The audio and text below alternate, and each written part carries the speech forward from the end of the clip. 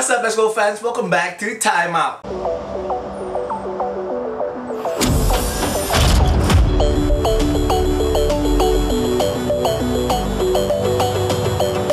Balik bareng gue Padilla dan kita baru saja menyaksikan game super seru di Western Conference Finals game kedua di mana Golden State Warriors berhasil lolos nih dari kekalahan. Mereka menang tipis banget nih. Skornya 114-111 atas Portland Trail Blazers di Oracle Arena. Sekarang Warriors unggul 2-0 di best of 7 series ini.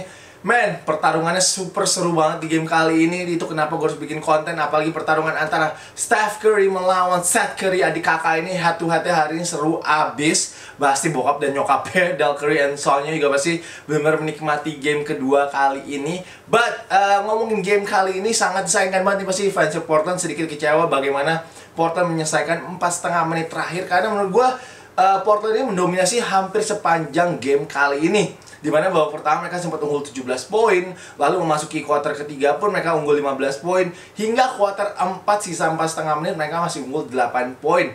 Man, luar biasa banget sih uh, Golden State Warriors di 4,5 menit terakhir mereka outscored the Blazers 14-3. Thank you to Steph Curry, uh, Draymond Green, uh, Iguodala dan juga Kevin Looney menurut gua Iguodala tadi defense yang terakhir saat menjaga Lillard sih itu bagus banget di mana Lillard kayak lupa ya kalau Iguodala itu adalah one of the best defenders in the NBA walaupun uh, baru muncul kayak jago-jagonya defense-nya pas lagi playoff sih. But Iguodala made the biggest play of this game dengan memberhentikan logo Lillard nggak membiarkan dia untuk menembak tapi juga selain Iguodala, gue seneng banget melihat Draymond Green hari ini. Draymond Green selesai dengan 16 poin, 10 rebound, 7 assist, dan juga 5 block. Ini gue selalu setiap kali gue lagi siaran kemarin ini saat gue menyiar uh, menjadi komentator di uh, saat pertandingan Golden State, gue selalu bilang Draymond Green ini di playoff luar biasa banget performance-nya.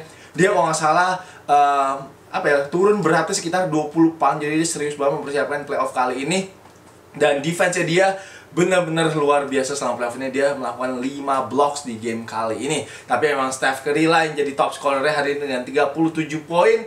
Uh, walaupun gak 9 kali 3 poin lagi di game pertama tapi dia tetap perannya penting banget apalagi di pick and roll. Ini harus ada adjustment kayak coach Terry Stott di babak pertama eh, di game pertama di mana kalau Steph Curry lagi pick and roll uh, si Enes Kanter itu nggak terlalu show ya. Jadi dia benar kayak memberikan jarak ke uh, Steph Curry untuk melakukan 3 point di mana itu kayak practice shot aja untuk Steph Curry kosong setiap kali pick and roll gitu. Jadi strateginya di babak pertama juga uh, di game pertama juga salah. Di game kedua uh, tadi kalau gue lihat Myers Leonard sempat bermain cukup banyak di kuarter keempat yang memberikan juga uh, quality minutes untuk coach Terry Stotts di mana dia sempat melakukan 3 point juga dan dia finish dengan 7 point tadi kalau nggak salah.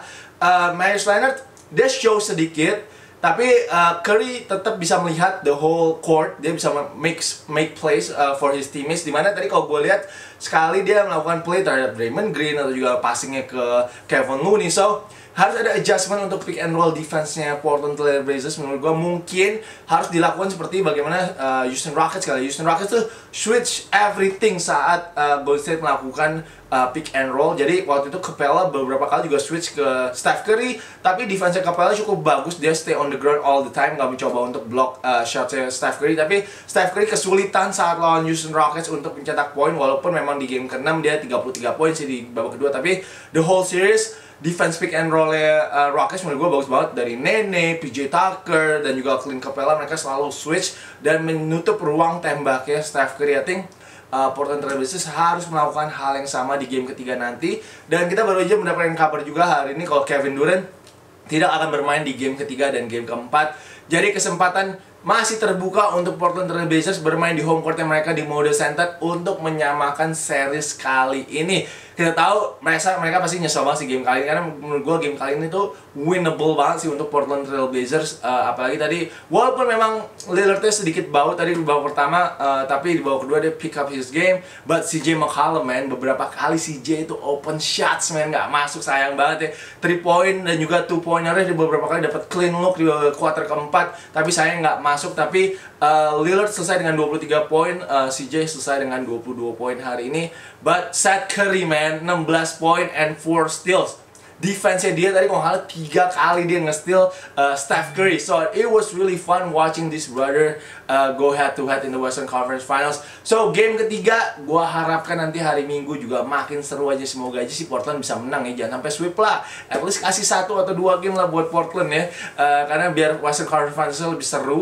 But uh, itu aja video gue hari ini gue ingin share aja keseruan gue nonton uh, Portland melawan Golden State hari ini uh, kalian bisa tinggalkan komen kalian menurut kalian game kedua ini uh, bagaimana. Dan kalau kalian punya saran-saran uh, untuk Portland di game ketiga gue pengen denger juga menurut kalian apa yang harus dibetulkan oleh Portland Trail Blazers untuk memenangkan game ketiga nanti di mode center melawan Golden State Warriors. So thank you guys sudah menonton video gue kali ini. Jangan lupa like and jangan lupa untuk subscribe juga ke channel gue thank you guys for watching. I'll see you guys next video. Peace